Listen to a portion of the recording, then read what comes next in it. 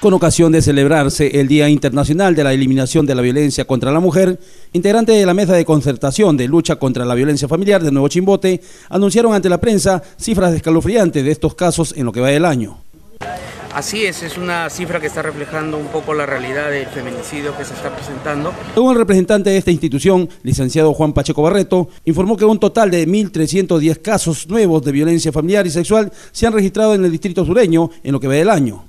También indicó cifras respecto a denuncias de maltrato a varones, que en su mayoría son a niños y ancianos. Acá en la región de Ancash se ha hecho ya toda la recopilación de la información. Lamentablemente seguimos siendo la segunda región que tiene más víctimas de feminicidio también a nivel de todo el país después de Lima.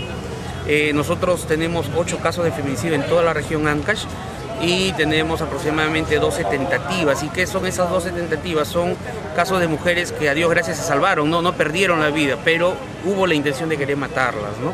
Hemos logrado sacar una estadística que a nosotros nos preocupa, porque son más de 1.310 casos denunciados de, violencia familiar en el distrito es una cifra bastante alta. Tenemos entre un 7 a 8% de casos de varones, pero ojo, hay que quedar claro con esta, esta información, 7 a 8% de varones pero los varones considerados a los niños y a los adultos mayores que también sufren violencia. Detalló además los porcentajes en denuncias por maltratos tanto físicos, psicológicos y sexual, por lo que las 20 instituciones que forman parte de la mesa de concertación han programado una serie de actividades con motivo del Día Internacional contra la Violencia hacia la Mujer que se recuerda este 25 de noviembre, las cuales buscan sensibilizar a las autoridades y a la población.